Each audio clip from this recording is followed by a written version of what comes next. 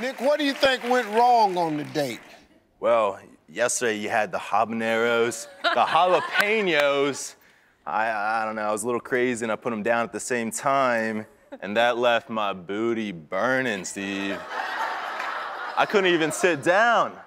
Yeah, well, let me ask you something. I, I got your booty was burning. How did you make this hillbilly move and come back to the table with no damn shirt on?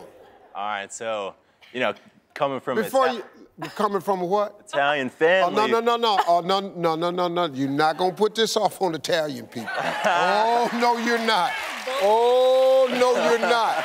Don't you drag Italians into this. Ah. I have eaten with a lot of Italians. Ain't now one of them brought their hillbilly ass to the table with no shirt on. There is a sign, Nick.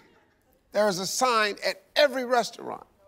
Clearly says no shirt, no shoes, No service. no service. They, they took me in with open arms, Steve. You went and came back to the table with no shirt on. Cause your booty was hot. Where is your booty located? Oh, wait a oh, minute, that's a oh, I see. story. Obviously, they're right here. the, the whole body was like a thermos, man. So you gotta let it on from the top down. That's why I stripped it off. Mm-hmm. How did how did you end up on the other side of the table? Well, That's I had to go to the bathroom myself. I went to the bathroom.